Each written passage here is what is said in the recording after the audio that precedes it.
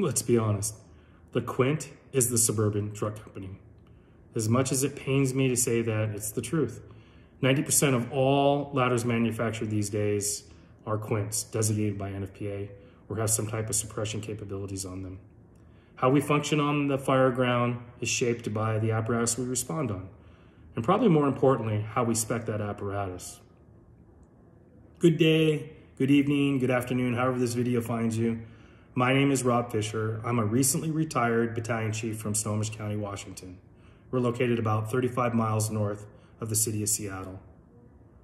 Of my 20 years as a company officer, I spent 17 of those on our department's only ladder truck. During that time, I was fortunate to be a part of the team that developed our truck company operations on a Quint in our small suburban department. Thank you for your interest in my 2025 FDIC presentation, Quint Considerations for the Single Truck Suburban Department.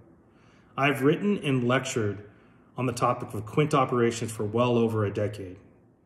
In my presentation, we'll go over Quint designation under the new NFPA 1900.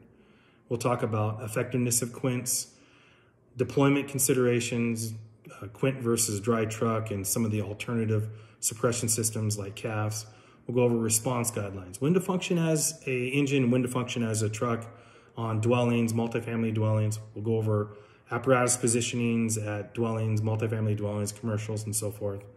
And lastly, we'll go over specifications and alternatives to those, taking into account department size, ISO, or some type of state insurance rating system and demographics.